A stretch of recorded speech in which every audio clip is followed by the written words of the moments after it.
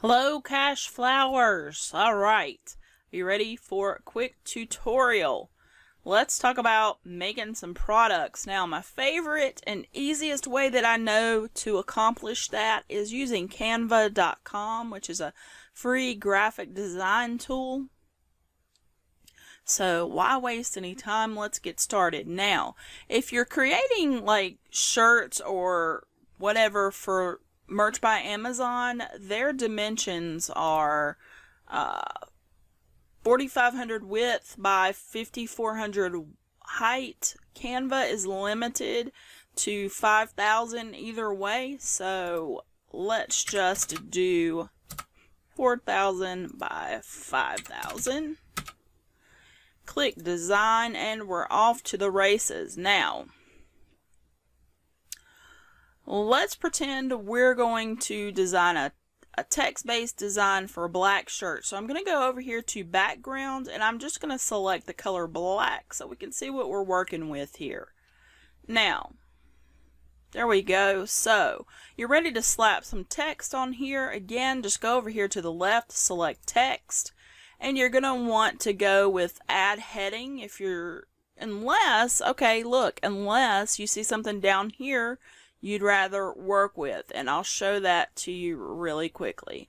Let's say you like this nice big bold text here where it says Michael Dale. So I'm going to click that and that will move over here to my design. Now it's way too small so just click uh, anchor point and drag it. Scroll up a little bit. Drag it. There we go. Now there's some elements here that you may not want, like this class of 2021 part here. Just highlight it and press your delete key to get rid of it. This part, again, press delete to get rid of it. Highlight it first. It makes it a little bit easier. Now you can just customize this text here to say whatever you want it to. So there you go. So you can also pay attention to what font it is by looking right up here. It appears to be this League Spartan font. So you can always uh, just go with it from scratch instead of having to lead all that stuff and everything. But sometimes you can get inspiration over here. So I just wanted to let you know how to, if you see something you like, get rid of whatever you don't like. All right, so I'm to trash this and I'm to uh I'm to start from scratch with my text. So to get rid of this, I'm just to click the trash can icon here and I'm to go up to add heading because I want to add my own custom text. All right. So let's see. I'm to just type out my what I'm using here. So this is a favorite quote of mine.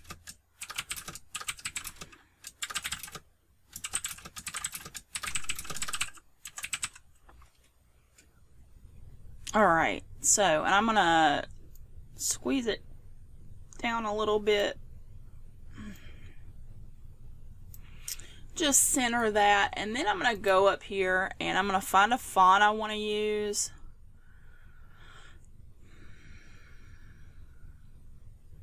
I like this chunk 5 really well. Now, all the fonts, and I don't even pretend to know how many there are in here, uh, more than a 100 are all Google fonts and so they are approved for commercial use. So I'm just going to go with this chunk 5 and I'm going to make it bigger. Let's go with 72. Now I'm just going to drag this up some. Scroll back down a little bit see if I can get this centered on the page. There we go. Alright, so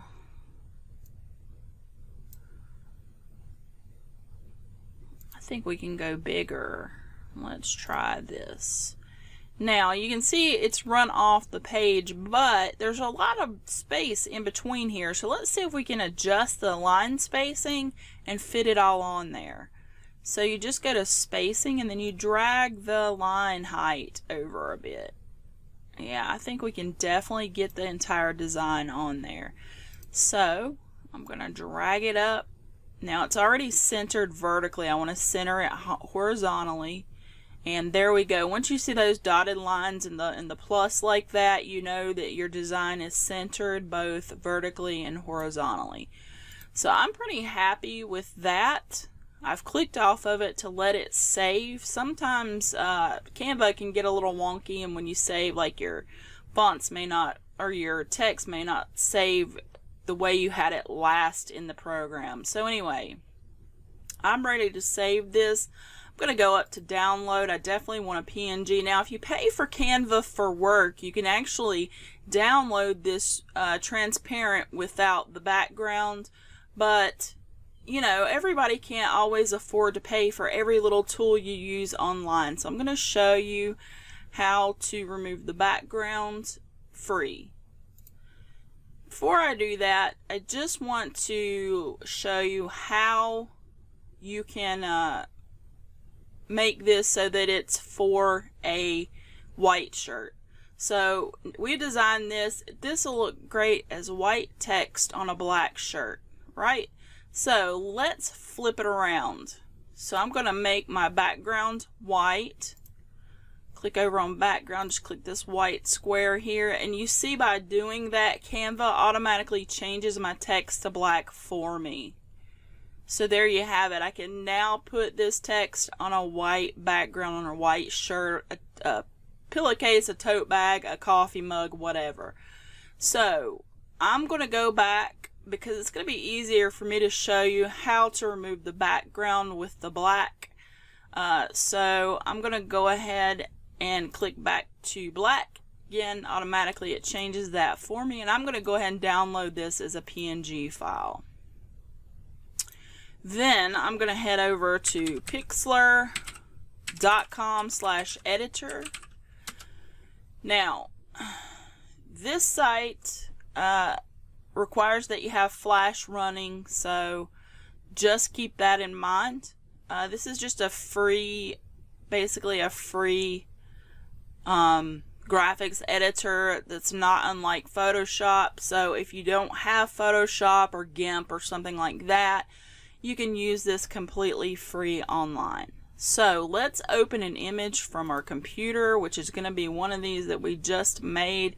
Again, I'm having problems with um, Canva not saving my text the way that I had it last. So you can see I got my text here the way that I want it. They're having a problem today. They're not saving it correctly. So please just disregard that for this video. I usually don't often have these types of problems with them. So we'll just work with what we have. So let's just pretend this looks right. Now we want what we want to do here is remove our black background. So in order to do that, what we're going to do is select the wand tool and then we're going to click in the black area. And what that's going to do is select all of the black area that's connected right here. You'll notice that the, the black areas that are inside letters, like right here, are not selected. Anyway, so you, you click in the black area, and once your selection shows up, press the delete key, and it's going to get rid of that background. Now, if you have letters, where you need need to go in and get rid of the black in these holes. Uh, you do it the same way with your wand tool. Click there select it press delete and you just repeat that for each one.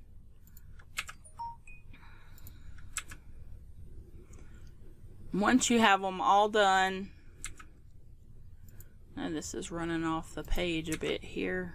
I can't believe Canva wouldn't uh, cooperate with me today. I was making YouTube thumbnails like crazy earlier without any problems. Alright, so I, I've deleted all of the black using the wand tool. Um, now I'm ready to save this and so when I go in to do that I'm going to save it. It's going to be as a PNG transparent, full quality.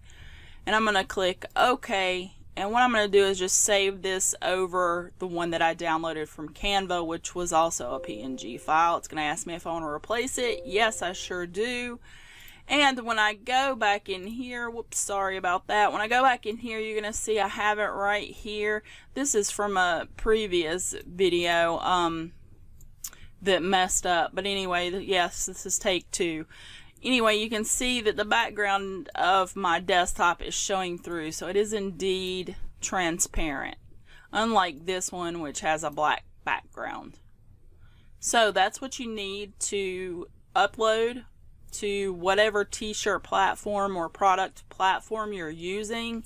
Uh, same way goes with if you had chosen to go with the black text for white shirts or light colored shirts, you remove the background the exact same way.